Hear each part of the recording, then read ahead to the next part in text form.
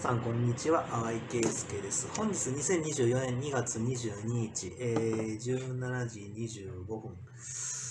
まあ、ちょっともう、今日、先ほど、いろいろと、人間の方がね、えー、喧嘩を売ってくるような子供とか、えー、春山整骨院に関して防犯カメラの撮影等で、まあ、ほうれい線作られてるんですけども、これ法律勘違いされてる方いらっしゃいます。えー、裁判所に提出するものなど、えー、世間に開示してはならないという法律などありません。で、裁判所の裁判官もそういうことは、えー、本人に任せると言っています。で、えー、警察官の人も、えー、一部淡井圭介の事情等を知ってる人たちは、えー、アップロードでええわということになっています。有馬警察署の方で決まってますから。で、えー、今回はですね、えー、ちょっと内容は、別件なんですけども、333番、ホームページ淡井圭介の利益の333番に裁判所の判決、まあ、あの、一般的に世間のその、テレビなどで放送されてる、まあ、一般的なインターネット記事とかからアクセスできるものなんですけども、まあ、サムスントップの無罪判決ということで、えー、まあ、記載されてた、え、内容なんですけども、まあ、こちらの方自体が、あのー、まあ、安倍政権の時、国会のとある一室で、まあ、安倍さんに、えー、何かを、えー、話されていた方で、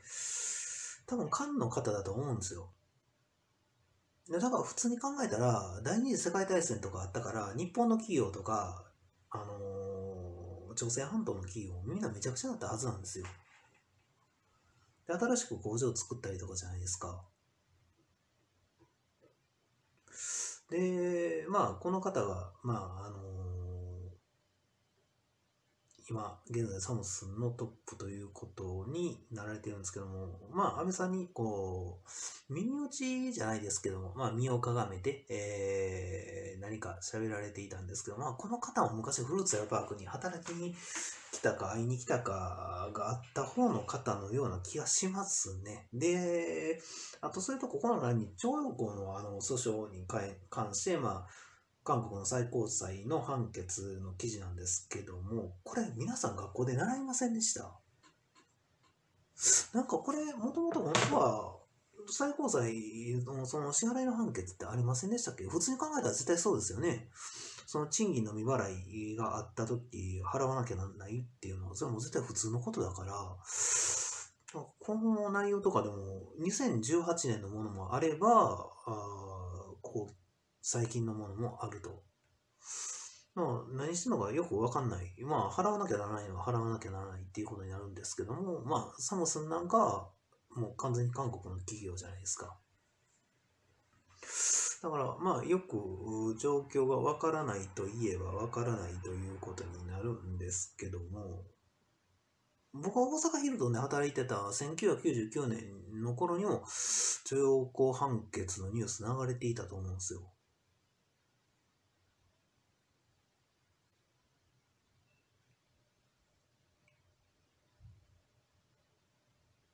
まあちょっと話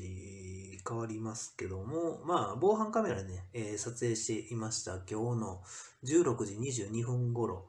まあその前後ぐらいですね、まあ20分から、24分としてもいいでしょうし、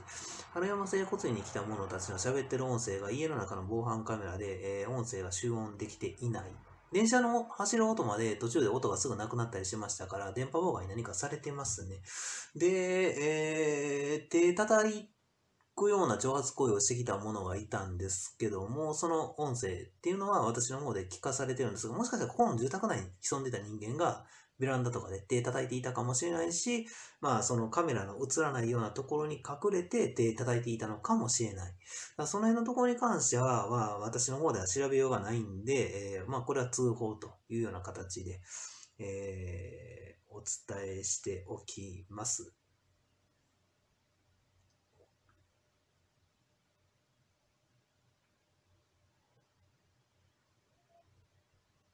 まあ何回もしてる人間だったら、まあ私の口座の方にお金を振り込むと。まあこういうふうな形ですね。まあ私もお金払った方ですからね。ですけど、その人間はもともと何回も絡みに来てた人間だったんですけどね。松岡っていう、えー、女性のもので。で、そのものの心の声の方かな、何かな、その、今まで何回も絡んでこられてたんですけど、無視してたんですけども、えー、まあ、堪忍袋の方が切れて、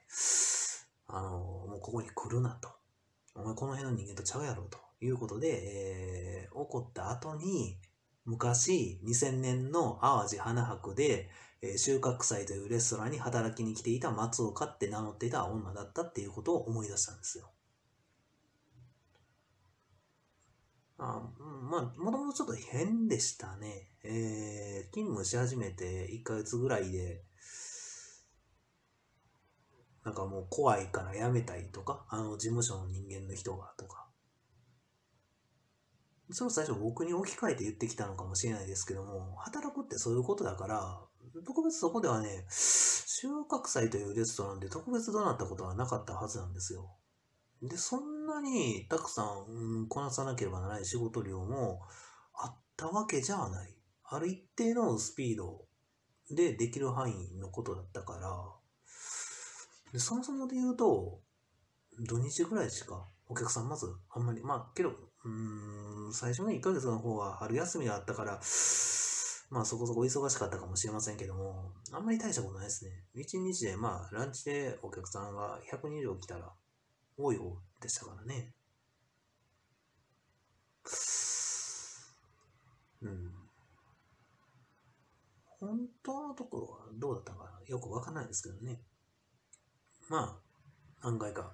僕に、まあ、絡んでくるような形でこの辺に来ていて。まあ僕からしたら、もう覚えてないから、あのー、その辺のやつが絡みに来てるぐらいにしか思わなかったんですよね。まあ、それで僕がどうなった件に関して警察をそのものが通報して、で、えー、罰金1000円払わされてるんですよ。っていうことは、僕の家の周りにごちゃごちゃ物言いに来た人間とか、春山整骨院の連中とかも全員一人一回につき1000円払ってもらわなきゃならない。そうでしょ？警察官や裁判所でした判断なんですから。裁判所に持っていきましたよ。納付の、えー、1000円の。だ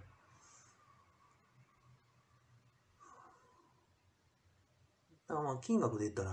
本当に年間、うん、2010年から2020年ぐらいの間、まあ1年間で大体3万回くらい絡まれてますから、あと、車のドアの音含めてですよ。で、意図的に夜の、例えば、0時00とか、そういう遅い時間帯とかに車のドアとかで、えー、オートで攻撃してくる人間、あと夜中とか明け方とか。だからもう意図的に狙ってしてきてるなっていうには、いっぱいいましたが、ものすごく。普通朝の4時なんかに車なんか乗りましたしないしない。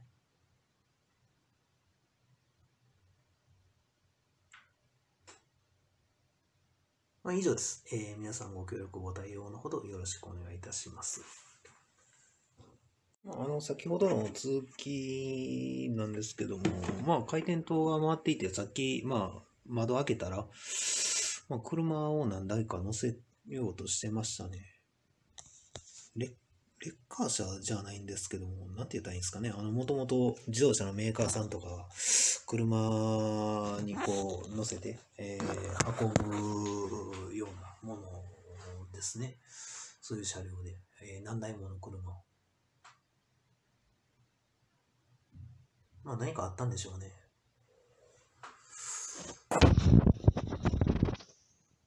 それとまあ先ほどの続きなんですけども、えー、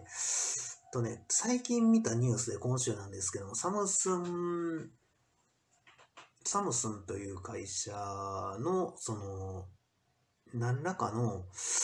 事件の判決なんですけども、支払う金額が600何十万円という内容のものがあったんですけども、それって僕の何の件ですかね？あの貸金の件でも、ちゃんと計算したらそれぐらいになっていても、まあおかしくないといえばおかしくないような気もするんですよ。年数考えると。だいぶ経過してますから。で、それか、州は株式会社の件なのか、そこは、えー、供託金、うん、まあ、委託金みたいなものですね。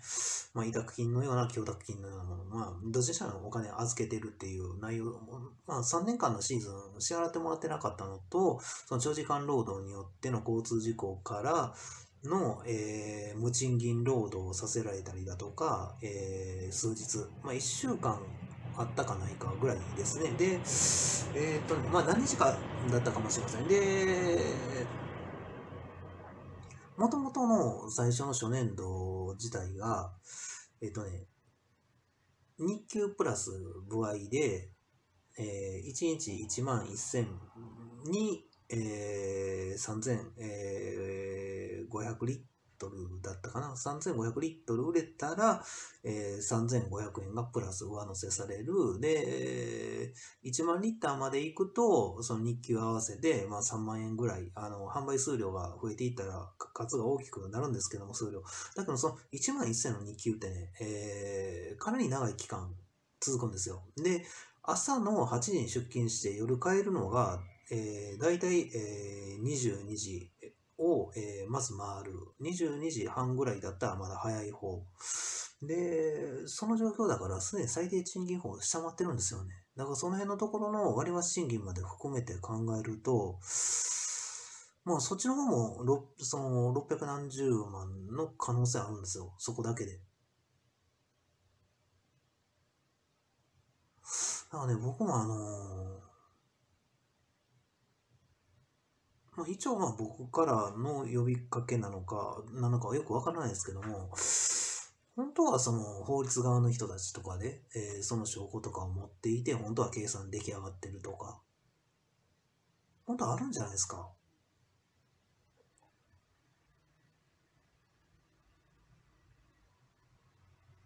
ただまあそこは、年金利5分の計算ですよね。一応、屋号とかでの、えー、まあ、だから、これね、えー、他のところで働いたりしてるから、他はまあ、時間給で働いてる時とか、あとはまあ、部合の時とかもあったんですけども、塩川株式会社。部合の時は、えー、4.3円とか、そういうふうな部合率だってまあ聞いてましたね。本当はこうだからとか、もういろんな話聞いてるんですけども、実際に手にしてるお金が少なかったから、あの4.3円って結局、賃金未払いになりますよね。あんなにすごい長時間労働だったら。その時はね、一つ、まあ、週5日の出勤で、まあ、1日が長いですから、一月の労働時間はだいたい280時間ぐらいですね、大体。まあ、正月は最初に1日から4日まで休みがありますから、1月だけ、まあ、労働時間はだいぶ変わるとは思いますけども、それも4.3円であの労働時間だったとしたら、まあ基本の時間給はいくらかっていうところにもよるかと思うんですけども、いくらで計算するのかって。その辺のところをもう全部、等々含めると、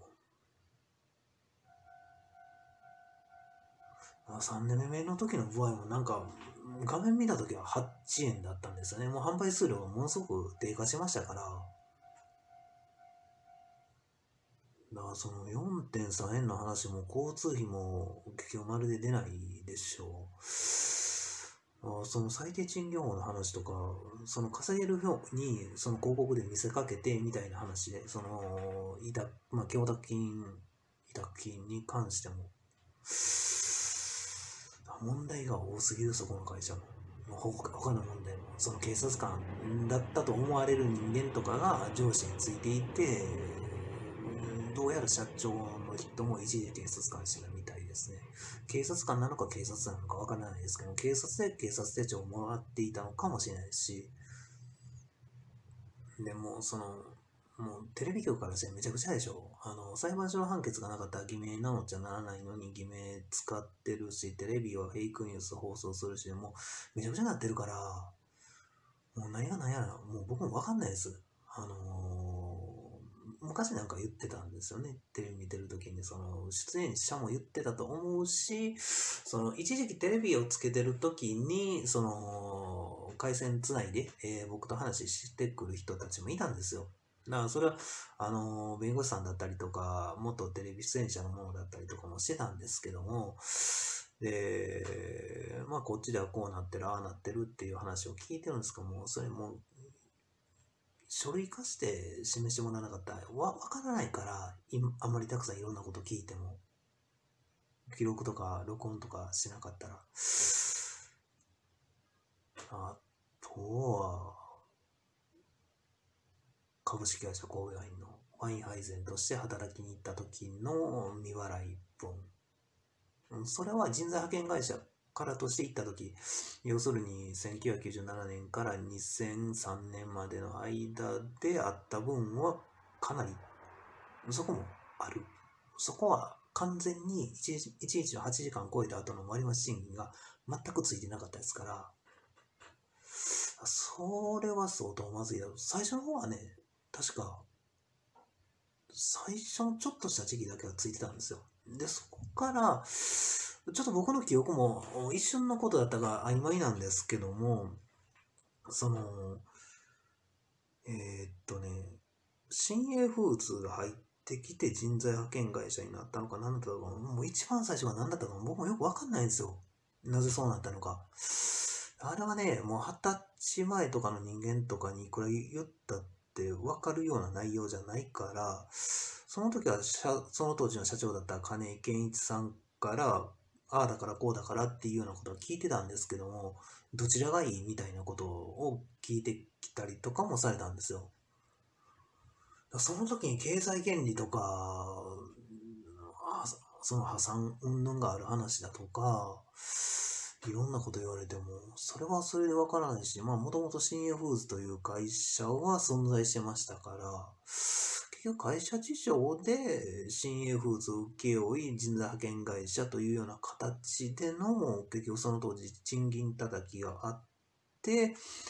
で、えー、結局直接雇用じゃないとダメだっていう話になってで、え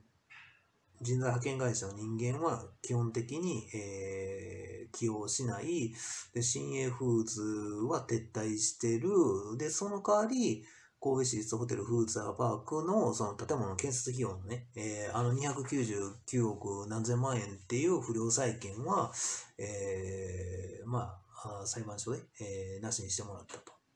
あんなも絶対返せるわけないですからね。あれもし、まあけど、もともとお金も借りれないでしょ。結局、本当は神戸市がお金出して作ったんでしょう。誰が返済しなきゃならなかったのかってこと考えたら、決めた議員さんたちだったんじゃないですか。まあ、どこからどこまでの範囲だったのかわからないですけど。